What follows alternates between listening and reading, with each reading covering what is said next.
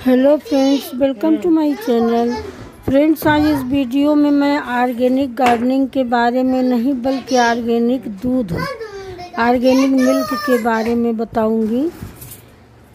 दिखा रही हूँ कि किस तरह से हम लोग लखनऊ में भी रह कर और स्वयं सारी मेहनत से ऑर्गेनिक दूध किस तरह प्राप्त करते हैं और उसके लिए हम क्या क्या करते हैं। आगे आप सारी प्रक्रिया को देखिए और इस तरह रोज़ मेरे घर आठ लीटर ऑर्गेनिक मिल्क का उत्पादन होता है। आगे आप देखिए।